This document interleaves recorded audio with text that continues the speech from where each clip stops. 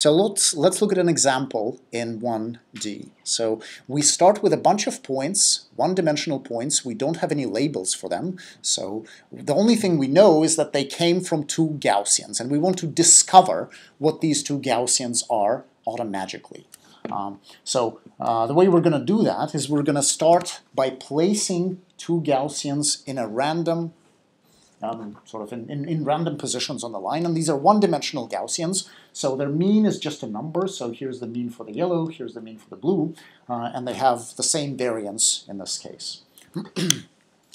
so the first step of the algorithm, we're going to figure out how likely is each of the points to come from the yellow or from the blue. So basically, for each one of these points, we're asking a question, does it look more like the yellow Gauss, like a sample from the yellow Gaussian or a sample from the blue Gaussian? And the way we compute that is uh, using Bayes' So that's a generative probability. You take xi, subtract the mean of the blue Gaussian, square it, divide by the variance, exponentiate, uh, normalize. That gives you the probability that uh, that point xi came from the blue Gaussian. Right. So uh, let's pick a point. That point right there, right? The, the, the, the rightmost point. Uh, will it have a high probability p of xi given B? No. It's going to be very, very small because that point is very far from the blue mean, and the blue variance is kind of, uh, is kind of um, spiky. It's not very spread out. Right? Will it have a high number for the yellow? It'll be even smaller right? And that's where interesting things start to happen.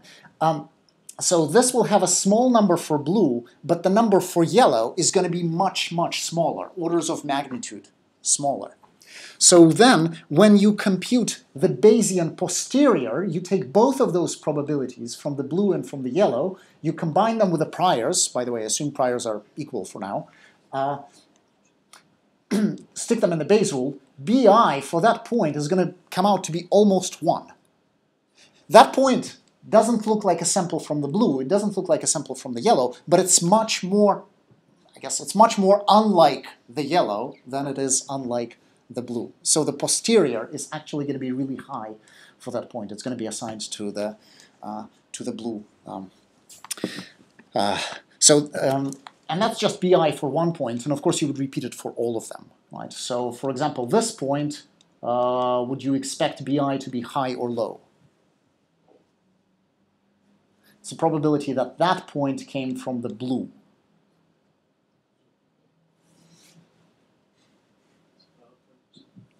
Well, no, actually, it should be it should be pretty low, right? So this is very very close to the yellow mean, and it's a lot hard. It's a lot further away from the blue mean, right? So that po that point is going to be mostly yellow, with a little bit of a probability for the blue. This one is going to be mostly blue with maybe a tiny bit of the yellow, and all of these are going to be blue pretty much throughout. So um, you compute the BIs, you compute the AIs, which are just 1 minus BI, so that's the probability that they came from the, uh, from the yellow. Um, and then these numbers, the BIs, they basically represent a coloring of the points. It, again, it's just like k-means, only in k-means, points would be either colored fully blue or fully yellow. And here we have sort of fractional colorings, right? This one is mostly yellow, this one is mostly blue. These ones are pretty much entirely blue, but you have, you have a bit of a mixture, right? So the point belongs to both the yellow and, uh, and the blue distributions. And once I've done the coloring, I can do re-estimation, right? I can now take these colors and say, well, these points, they came from the blue. So now I can estimate the blue mean and the blue variance, because now I've got the assignments, right? And the way you do that is really simple. You just add up the x's for the points and you divide by this sum. Now, um, this sum is a little bit odd, uh, and the first time you see it, it's going to look a little bit confusing. So what you're doing is you're taking each x value, x1, x2, and so on, um, you're multiplying it by bi, which is the posterior, and you're adding them up. Now, if you're having a hard time understanding what you're doing here, pretend for a moment that you're doing k-means instead of em. If you are doing k-means, these bi's would be 0 or 1 the point either goes into the blue cluster or it goes into the yellow cluster. So BI is 1 if the point goes into blue cluster, and it's 0 if it goes into the yellow. Right? So if that happens, suppose that that point BI was 0, and for everything else BI was 1. Right? So what does that look like now? B1 is 0, so x1 is not a part of this sum. And b1 is not a part of the bottom either. Now what's left? b2 would be 1, b3 would be 1, all of them would be 1. So what you're doing is you're taking all the points except the first point and adding up their x values and dividing by the number of the points that went to the blue cluster. That's just n minus 1 in this case. Right? So your estimation is the same as if somebody came in and told you these are the points from the blue cluster. Right? Does, does, does this make sense? This is actually the critical thing. If you get this, you'll get the rest of it. This is good. Is everyone good on this? Okay. Uh, so that's how you re-estimate the blue mean. Um, the difference now is BIs are not just 0 and 1, they're probabilities, they're numbers between 0 and 1. So what it means is when you're computing the, when you're computing the blue mean, these points, xn, xn minus 1, they are they get the full weight, they give their full weight to the blue mean, and the point x1 gives a tiny fraction of its weight to the blue mean, and it's going to give a bigger fraction of its weight to the yellow mean. So that, that's the soft assignments for you. It basically, uh, in k-means, a point contributes either to one centroid or to another.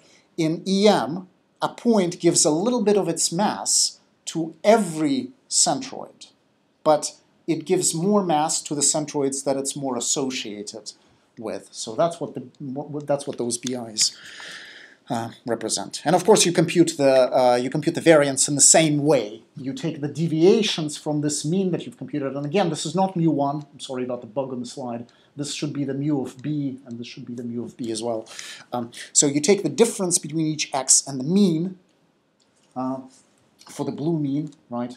Uh, and you multiply those square differences by the weights, by the confidences that that point is from the blue distribution or from the yellow distribution. So this is for the blue. Then you do the same thing for the uh, for the for the yellow, right? So you multiply the numbers by the AIs, which are the weights, the probability that the point goes is associated with a yellow uh, distribution. And you do the same thing for the mean and for the variance. And uh, I guess re just remember that AIs are just 1 minus BI. So uh, in this formula for AI, which term is going to dominate at the first iteration? First. Yeah. The, so there's, there's only really one point that's going to dominate. All of these AIs are going to be very, very small because most points are colored blue. The only one that's colored uh, mostly yellow is that one. So there's going to be lots of weight on this point. Sorry about the pointer. Uh, and there's going to be a little bit of weight on the second point, and there's going to be zero weight on everything else. Okay. so when you do that, uh, that is going to be the likely result. So your yellow Gaussian is going to pretty much stay where it was. It's going to move a little bit because it's all concentrated on one point, on, on that one point with a little bit of contribution from that point. Uh, but your blue Gaussian is going to move massively to the right because now all of these blue points are pulling on it. So they, they participate in the recomputation of the mean and the variance. So it's, it's going to pull the Gaussian, they're going to pull the Gaussian towards them. Uh, and that's one iteration of EM. And of course you don't stop here, you keep going. So at the next iteration, you're going to redo the coloring, and now the coloring is going to be a little bit different. So uh, those points are going to pool a lot more on the blue Gaussian, so it's probably going to migrate to these points, and the yellow is going to start encroaching on its turf. And eventually, after a few iterations, it'll, it might look something like that. Right? So this is a made-up example, uh, but this is, the, uh, this is what it might end up uh, looking like. Uh, so that's essentially how you estimate the means and the variances starting from nothing just a set of uh, data points. I only estimated the parameters of the Gaussians. I didn't estimate the priors. I kept, I kept the priors uniform. Um, but you can also estimate uh, the priors. So uh, the way you would do that is um, the prior for the blue, you just add up all of the BIs and divide them by the number of uh, by the number of data points that you have, and that is the estimate for how how uh, basically what this is telling you is it's telling you what proportion of the points is the blue distribution describing now. What, what, what, what proportion of the data is it describing? Uh, if you do that, you actually have to be careful because a lot of the time, in a case like that, after the first iteration, blue would grab everything, right? And then and then yellow might might get zeroed out. So that that that happens uh, commonly. So sometimes you just peg the priors um, at equal uh, at, at, at a uniform distribution. So you force them to be 0.5 and you don't re-estimate them.